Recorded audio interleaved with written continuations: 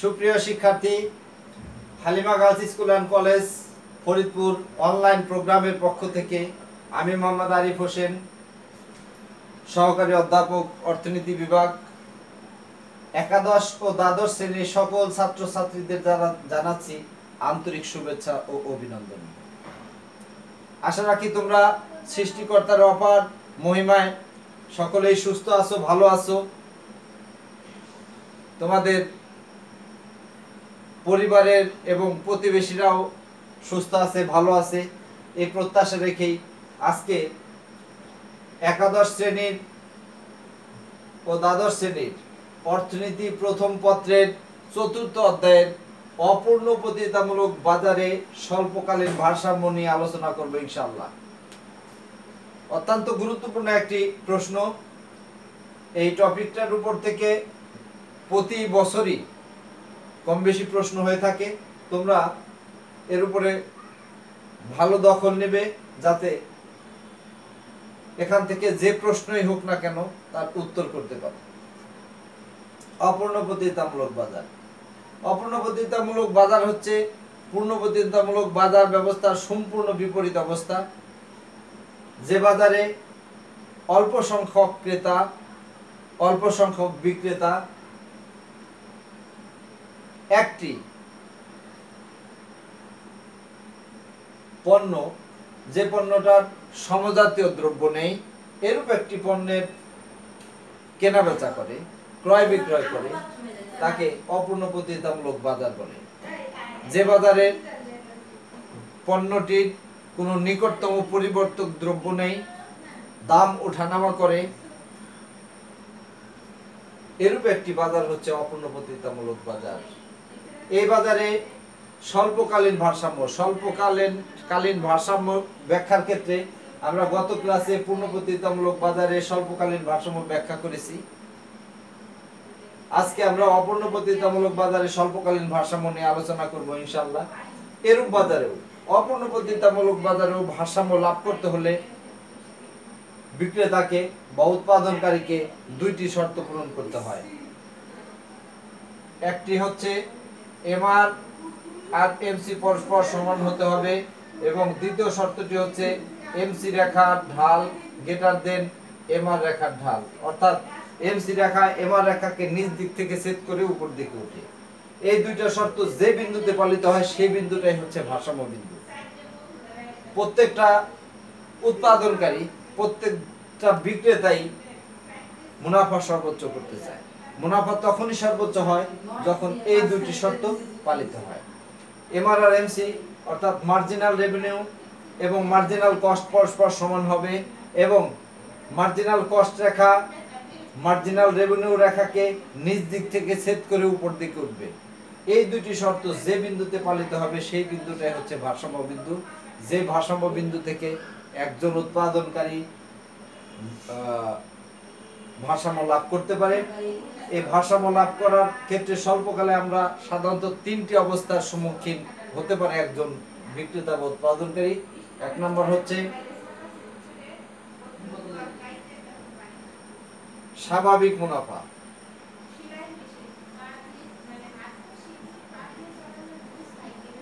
একচেটিয়া কারবারি কখনো কখনো স্বাভাবিক মুনাফা অর্জন করে উৎপাদন কার্য পরিচালনা করতে পারে। এরূপ অবস্থা আমরা একটি চিত্রের সাহায্যে ব্যাখ্যা করি। চিত্রে ভূমি অক্ষে উৎপাদন এবং লম্ব অক্ষে সকল প্রকার আয় ব্যয় নির্দেশিত। আমরা জানি পূর্ণ অপূর্ণ প্রতিযোগিতামূলক বাজারের দাম রেখা এবং গড়াই রেখা বাম দিক থেকে ডান দিকে নিম্নগামী হয়। এ আর সমান পি। এবং প্রান্তিক আয় রেখা বাম দিক থেকে ডান দিকে নিম্নগামী সর্বাবস্থায় গড়াই রেখার নিচে অবস্থান করে। এম আর মার্জিনাল রেভিনিউ আমরা জানি উৎপাদন বৃদ্ধির সাথে সাথেই আমাদের প্রান্তিক ব্যয় বৃদ্ধি পায়, ফলে প্রান্তিক ব্যয় রেখা বাম দিক থেকে ডান দিকে ঊর্ধ্বগামী হয়। মার্জিনাল কস্ট এই প্রান্তিক ব্যয় রেখা, প্রান্তিক আয় রেখাকে ধরে নেই এ বিন্দুতে ছেদ করেছে। ফলে ছেদ বিন্দুতে ভারসাম্য অর্জিত হয় এবং ভারসাম্য লাভ করে আমি উপরে এ আর বা গড়ায় পর্যন্ত উঠিয়ে দিই। ধরি ও কিউ জিরো উৎপাদন স্তরে একজন অপূর্ণবতিতামূলক বাজারের উৎপাদনকারী ভারসাম্য লাভ করে, যে অবস্থায় বি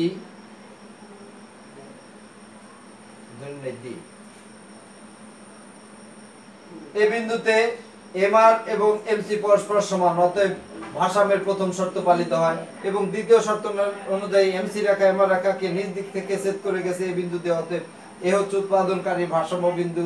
যে বিন্দুতে ভারসাম্য উৎপাদন হচ্ছে ও কিউ জিরো এবং ভারসাম্য দাম হচ্ছে বা গড়াই হচ্ছে ওডি বা কিউ জিরো বি এই অবস্থায় আমরা যদি দেখি যে এসি রেখা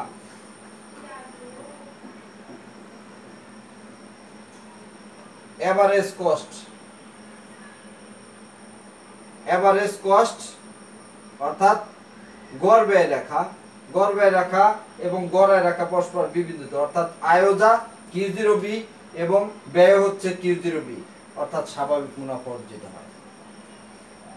স্বাভাবিক মুনাফা অর্জিত হয়। এই হচ্ছে এরূপ অবস্থায় একজন একসিটিয়া কারবারি স্বাভাবিক মুনাফা অর্জন করেও উৎপাদন কার্য পরিচালনা করে থাকে। এরপরে আমরা আরেকটি অবস্থার সম্মুখীন হয়ে- হয়েও একজন অ্যাক্সিডেন্ট কারবারির উৎপাদনকারী উৎপাদন কার্য পরিচালনা করতে পারে, অস্বাভাবিক মুনাফা। অস্বাভাবিক মুনাফা। যখন স্বাভাবিক মুনাফার চাইতে অস্বাভাবিক মুনাফা, অর্থাৎ বেশি মুনাফা বা অতিরিক্ত মুনাফা অর্জন করে একজন উৎপাদনকারী ভারসাম্য লাভ করে, তখন তাকে অস্বাভাবিক মুনাফা বলে।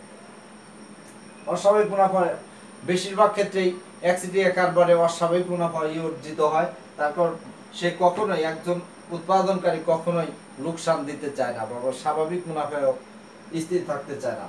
সে বেশিরভাগ ক্ষেত্রে যেহেতু সে ইচ্ছামতো দাম আরোপ করতে পারে দ্রব্য সামগ্রীর উপর, সুতরাং সে অস্বাভাবিক মুনাফা অর্জন করে। আমরা সে অস্বাভাবিক মুনাফার চিত্রটি এখন চিত্রের সাহায্যে ব্যাখ্যা করি ইনশাআল্লাহ, অস্বাভাবিক মুনাফা। চিত্রে ভূমি অক্ষে উৎপাদন এবং লম্ব অক্ষে সকল প্রকার আয় ব্যয় নির্দেশিত। পূর্বের চিত্রে আমরা দেখেছি যে অ্যাক্সিডিয়া কারবারের দাম রেখা এবং গড়ায় রেখা ভূমি অক্ষে সমান্তরাল না হয়ে বাম দিক থেকে ডান দিকে নিম্নগামী হয় এবং প্রান্তিকায় রেখা গড়ায় রেখার নিচে অবস্থান করে, অর্থাৎ এমআর এবং এমসি রেখা এমআর রেখাকে নিচ দিক থেকে সেট করে উপর দিকে চলে যায়। এমসি মার্জিনাল কস্ট এই প্রান্তিক ব্যয় রেখা, প্রান্তিক আয় রেখাকে পরস্পর ধরে নিলাম, এ বিন্দুতে সেট করে। যে অবস্থায় সেট বিন্দুতে ভারসাম্য অর্জিত হয়, এবং উপরে গড়াই রেখা পর্যন্ত উঠিয়ে দিই। A B C O Q one উৎপাদন স্তরে ভারসাম্যের প্রথম শর্ত পালিত হয় এ বিন্দুতে, অর্থাৎ এমআর আর আর এমসি পরস্পর সমান, এবং দ্বিতীয় শর্ত এ বিন্দুতে পালিত হয় এমসি রেখা এমআর রেখাকে নিচ দিক থেকে ছেদ করে উপর দিকে চলে গেছে। অর্থাৎ ছেদ বিন্দুতে, অর্থাৎ এ বিন্দুতে ভারসাম্যের উভয় শর্ত পালিত হয় একজন অপূর্ণবর্তিতামূলক বাজারের উৎপাদনকারী। ভারসাম্য লাভ করে। এই অবস্থায় অস্বাভাবিক মুনাফা অর্জনের ক্ষেত্রে আমি এখন এসি রেখার মাধ্যমে সেই অবস্থাটা ব্যাখ্যা করি। এসি, এভারেজ কস্ট, গড় ব্যয়।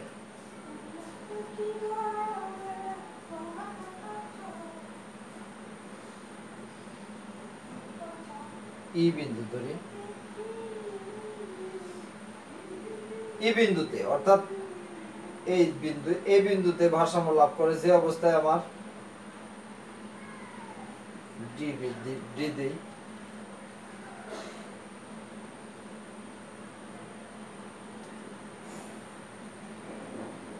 বিসিডিই ই বিন্দুতে এসি রেখা, এই ভারসাম্য রেখাকে পরস্পর ই বিন্দুতে ছেদ করে। ছেদ বিন্দুতে আমরা গড় ব্যয় দেখতে পাচ্ছি। যে অবস্থায় আমার মোট আয়, টি আর হচ্ছে total revenue T R total revenue হচ্ছে O Q one B C O Q one B C এবং টিসি টোটাল কস্ট হচ্ছে O Q one ED O Q one ED যে অবস্থায় পাই অর্থাৎ মুনাফা TR minus TC TR minus TC TR হচ্ছে O Q one BC বিয়োগ O Q one ED. O Q one BC বিয়োগ ও কিউ ওয়ান ইডি বাদ দিলে থাকবে B C D E B C D E এই B C D হচ্ছে অস্বাভাবিক মুনাফা। যে পরিমাণ অস্বাভাবিক মুনাফায় একজন উৎপাদনকারী অপূর্ণ প্রতিতামূলক বাজারে একজন উৎপাদনকারী অস্বাভাবিক মুনাফা অর্জন করে। এরূপ অবস্থায় সে অস্বাভাবিক মুনাফা অর্জন করে ভারসাম্য লাভ করতে পারে। এরপরে ক্ষতি স্বীকার করে উৎপাদন। একজন একশো টাকার বে- বেশিরভাগ ক্ষেত্রে ক্ষতি স্বীকার করে উৎপাদন করে না। তারপরে কখনো কখনো কোনো ব্যতিক্রম অবস্থার পরিপ্রেক্ষিতে কখনো কখনো এরূপ অবস্থারও সম্মুখীন হয়। ক্ষতি স্বীকার করে উৎপাদন। স্বীকার করে উৎপাদন। একজন একচেটিয়া কারবারি ক্ষতি স্বীকার করে উৎপাদন উৎপাদন পরিচালনা করে ভারসাম্য লাভ করতে পারে, যে অবস্থাটা আমরা চিত্রের সাহায্যে দেখাতে পারি। চিত্রে ভূমি অক্ষে উৎপাদন এবং লম্ব অক্ষে সকল প্রকার আয় ব্যয় নির্দেশিত। আমরা পূর্বেই জেনেছি যে ফার্মের গড়ায় রেখা বাম দিক থেকে ডান দিকে নিম্নগামী হয় এবং এমআর রেখা বাম দিক থেকে ডান দিকে নিম্নগামী সর্বাবস্থায় গড়ায় রেখার নিচে অবস্থান করে, এমসি রেখা ঊর্ধ্বগামী অর্থাৎ এমসি রেখা, এমআর রেখাকে পরস্পর এ বিন্দুতে ছেদ করছে, ফলে এ বিন্দুতে ভারসাম্য লাভ হয়, যে অবস্থায় ও কিউ টু উৎপাদন স্তরে ভারসাম্য লাভ করতে পারে, অর্থাৎ এ আর রেখা বি সি এটা হচ্ছে O Q O Q two B C হচ্ছে ফার্মের মোট আয়। যে অবস্থায় আমরা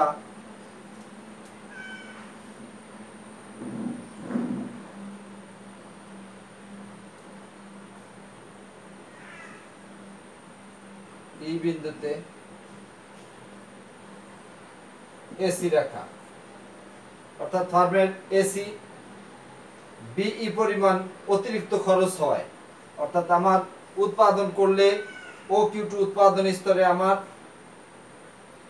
ভারসাম্য লাভ লাভের ক্ষেত্রে মোটায় দাঁড়ায় ও কিউ টু বিসি এবং ও কিউ টু উৎপাদন স্তরে ক্ষতি স্বীকার করে উৎপাদন করলে আমার মোট ব্যয় দাঁড়ায় ও কিউ টু ইডি অর্থাৎ ও কিউ টু ইডি বিয়োগ ও কিউ টু বিসি বাদ দিলে বিই বিসি ডিই এ পরিমাণ ক্ষতি স্বীকার করে একজন উৎপাদনকারী উৎপাদন কার্য পরিচালনা করে। এই অবস্থাটা অ্যাভারেজ ভেরিয়েবল কস্ট অর্থাৎ A V C